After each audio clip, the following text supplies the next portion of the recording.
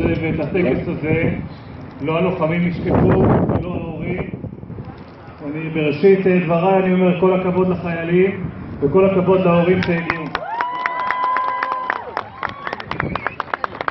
בראבו! בראבו! אתמול אם אה, לבטל את המסע או לבטל את הטקס עם ההורים. בגולני האפשרות של ביטול או לא לעשות לא קיימת. אצלנו יש משהו שנקרא עד הניצחון, וככה אנחנו עושים את זה. לוחמי ומפקדי חטיבת גולני, משפחות וחברים, אחרונים והחשובים, לוחמי ומפקדי מחזור אוגוסט 18. אנחנו מציינים היום את סיום מסלול ההכשרה של מחזור אוגוסט 18. סיום תקופת ההכשרה מהווה חותם רשמי להצטרפות שלכם הלוחמים לחטיבה החומה חטיבת גולני. ממש כאן, במרחב הזה, לפני כ-70 שנה, הוקמה החטיבה מספר אחת של צה"ל.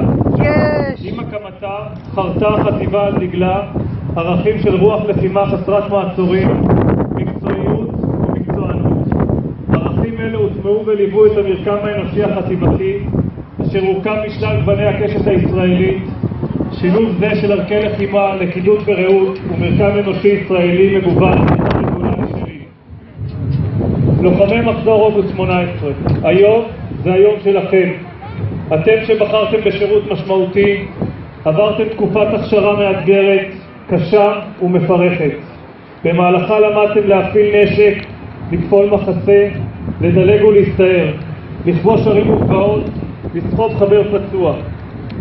אתם ההוכחה שרוחה של חטיבת גולני טמונה בחוזק לוחמיה. מהיום אתם חלק בלתי נפרד מהכוח הלוחם של חטיבת גולני, ועל כך אני גאה בכם.